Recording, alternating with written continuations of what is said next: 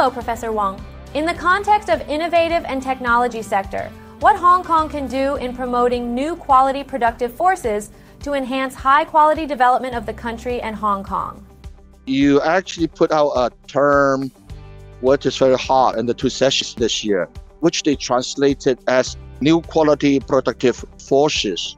According to the report, what they really want is that we should make good use of innovation. And when we said innovation, it includes innovation in technology, innovation in policy, innovation in methods, and everything. Then, by using this innovation, what you want to do is to increase or enhance the quality.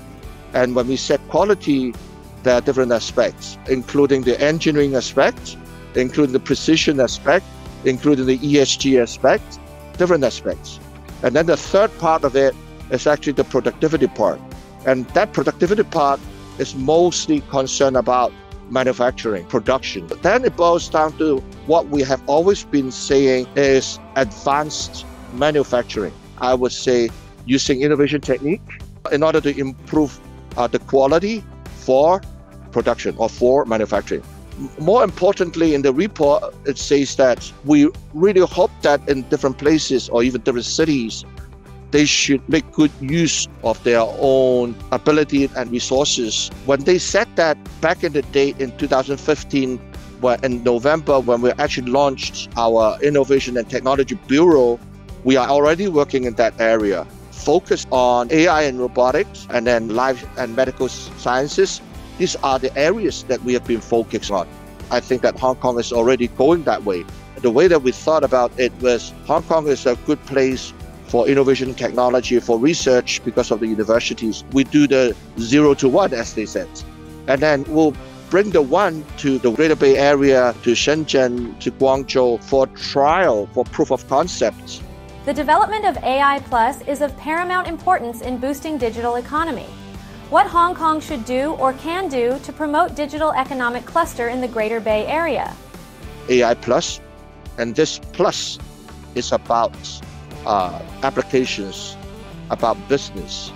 So when they said plus, actually the AI plus would be what we call the force in promoting the innovative quality productivity.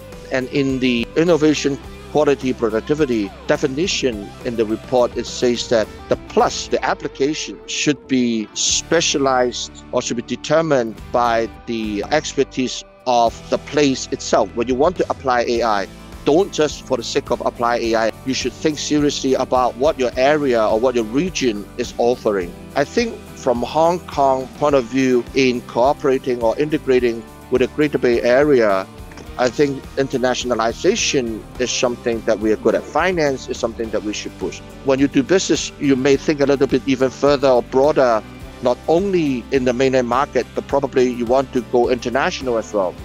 So for those companies who really want to go international, then they can come back again to Hong Kong for financing, and that's what we are good at. Hong Kong can contribute in the whole ecosystem in the upstream side and the very downstream side, in the research and new technology side, as well as the financing side.